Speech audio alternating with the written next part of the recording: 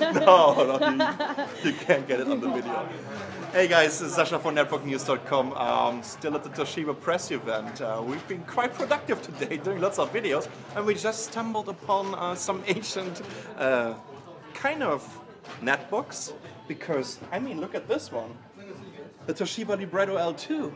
It definitely looks like a netbook, but this is coming from 2001 um, running a Transmeta Crusoe. I'm not sure if you guys can still remember this Transmeta manufacturer. Um, I know them from the embedded market. We had some industrial mini ITX main boards with a Transmeta Crusoe. 600 megahertz, 128 megabytes of RAM, and a 10 gigabyte hard disk drive.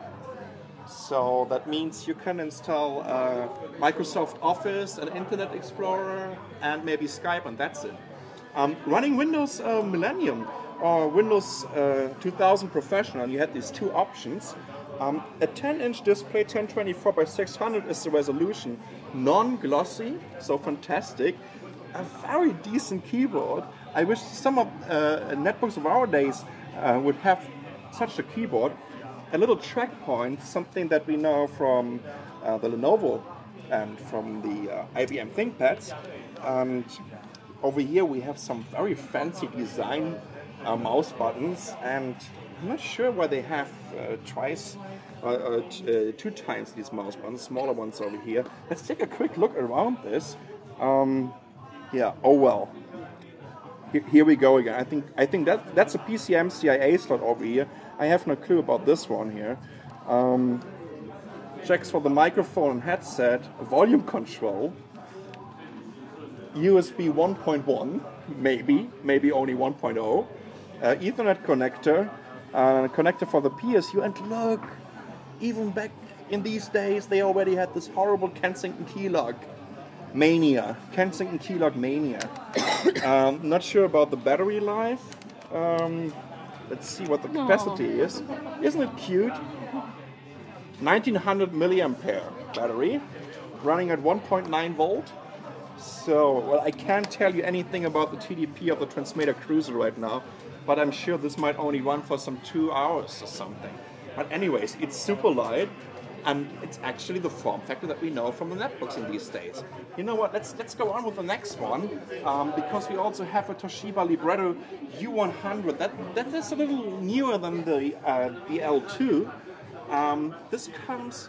I think it was a Pentium M at mm -hmm. 900 megahertz or around 1 gigahertz, 1 gigabyte of RAM, and I think already a 60 gigabyte hard disk drive. So wow, wow, woo wee! This is already a very uh, decent device. Um, I think that's 7 inch. Over here, this was running a Windows XP. I had a fingerprint scanner, trackpoint again, and super small uh, keyboard. Well, it's a super small device. Let's take a quick look around it. Uh, there's an Ethernet connector. That's a modem. Uh, I'm pretty sure these are also USB 1 or 1.0 uh, or 1.1. Uh, jacks for the microphone, headset.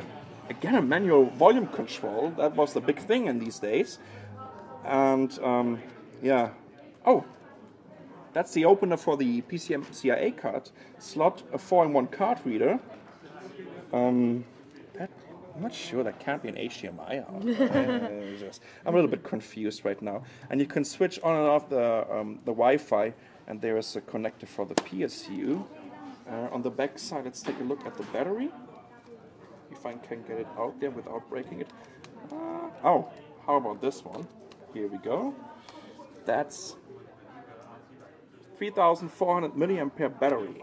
So, again, I have no clue about the GDP of the Pentium M uh, in these days. And oh my God, look at this! True surround speakers. So that was a multimedia mini notebook or mini PC or handheld. Anyways, it's just fantastic. Don't forget about oh, the... oh, don't forget about this multimedia docking station over here that sports a DVD-ROM. So you can just get it on there, and then you have multimedia and you can watch all your cool DVDs with Dolby surround sound on this fantastic 7-inch display of the Toshiba Libretto U100. Hey, this is Sasha from NetbookNews.com at the Toshiba event down here in Taipei. Thanks for watching.